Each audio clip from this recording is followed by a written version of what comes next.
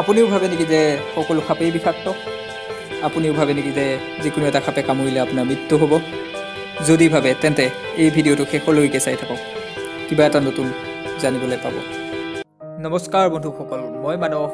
আপোনালোকে চাই আছে ছেফ ৱাইল্ড লাইফ আৰু এই ভিডিঅ'টোত আপোনালোকক দেখুৱাম অসমৰ বিষাক্ত সাপসমূহ। সেয়ে দেৰি নকৰি আৰম্ভ কৰোঁ আহক। বিষাক্ত সাপসমূহৰ ভিতৰত প্ৰথম সাপডাল হৈছে মন'ক্লেট কোব্ৰা যাৰ অসমীয়া নাম হৈছে চকৰি ফেটি। ই হাইলি ভেনমাছ হয় যাৰ অৰ্থ হৈছে ই যদি কামোৰে তেন্তে সময় থাকোঁতেই চিকিৎসা নকৰিলে মৃত্যু নিশ্চিত। ফেটি সাপৰ মূৰৰ পিছফালে থকা গোল চিহ্নটোৰ বাবে ইয়াক সহজে চিনি উলিয়াব পাৰি। ফেটি সাপৰ মূৰৰ পিছফালে থকা এই চক্ৰাকৃতিৰ চিহ্নটোৰ বাবে ইয়াৰ নাম চকৰি ফেটি ৰখা হৈছিল। ফেটি সাপৰ প্ৰধান খাদ্যৰ ভিতৰত নিগনি ভেকুলী মাছ সৰু চৰাই পোৱালি আদিয়েই প্ৰধান। এতিয়া আহক দুই নম্বৰৰ বিষাক্ত সাপডালৰ বিষয়ে জানো। দ্বিতীয় বিষাক্ত সাপডাল হৈছে বেণ্ডেড ক্ৰিট ইয়াক অসমীয়াত বাকৰাজ সকাৰা বুলি কোৱা হয় আৰু গোৱালা বুলিও কোৱা হয় অসমীয়াত। ইয়াক বেংগলী ভাষাত শংখনি সাপ বুলি কোৱা হয়।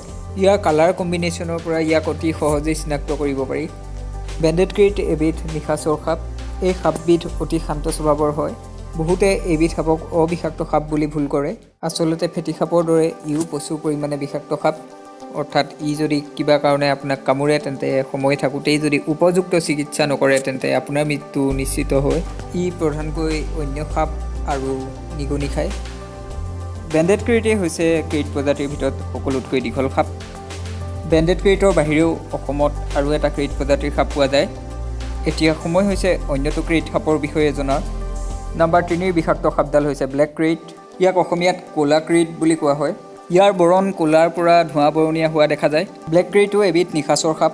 ব্লেক ক্ৰিটে নিগনি আৰু অন্য সৰু সাপ খায়। ব্লেক ক্ৰিটো এবিধ হাইলি ভেনমাছ সাপ অৰ্থাৎ ই যদি কামোৰে সময় থাকোঁতে উপযুক্ত চিকিৎসা নকৰিলে মৃত্যু নিশ্চিত হয়।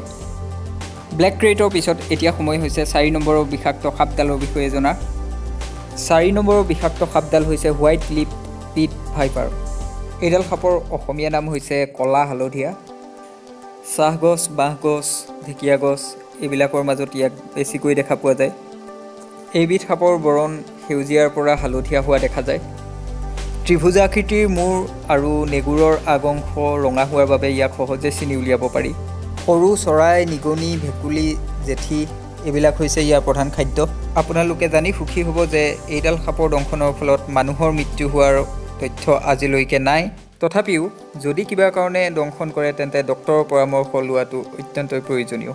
এতিয়া সময় হৈছে অন্তিমডাল অৰ্থাৎ পাঁচ নম্বৰৰ বিষাক্ত সাপডালৰ বিষয়ে জনাৰ। পাঁচ নম্বৰৰ বিষাক্ত সাপডাল হৈছে কিং কোব্ৰা। কিং কোব্ৰাক অসমীয়াত ৰজা ফেটি বা ৰাজ ফেটি বুলি কোৱা হয়। কিং কোব্ৰা হৈছে পৃথিৱীৰ ভিতৰত আটাইতকৈ দীঘল বিষ থকা সাপ। কিং কোব্ৰাৰ প্ৰধান খাদ্য হৈছে অন্য সাপ। আৰু কাৎচিত কেতিয়াবা গুই খোৱাও দেখা পোৱা যায়। কিং কোব্ৰা হৈছে পৃথিৱীৰ একমাত্ৰ সাপ যিয়ে বাঁহ সাজি কণী পাৰে। কিং কোব্ৰাই বাঁহ সাজিবৰ কাৰণে গছৰ শুকান পাত ব্যৱহাৰ কৰে। কিং কোব্ৰাও এবিধ হাইলি ভেনমাছ সাপ। বন্ধুসকল এই পাঁচটাই হৈছে আমি সাধাৰণতে দেখি থকা বিষাক্ত সাপ। ইয়াৰে ভিতৰত কোনটো সাপ আপোনালোকে প্ৰায়ে দেখি থাকে কমেণ্ট কৰি জনাব বুলি আশা থাকিল। সকলো ভিউৱাৰ্ছকে ধন্যবাদ জনাই এই ভিডিঅ'টো ইয়াতেই শেষ কৰিছোঁ। নেক্সট ভিডিঅ'ত পুনৰ লগ পাম। আজিলৈ বাই বাই।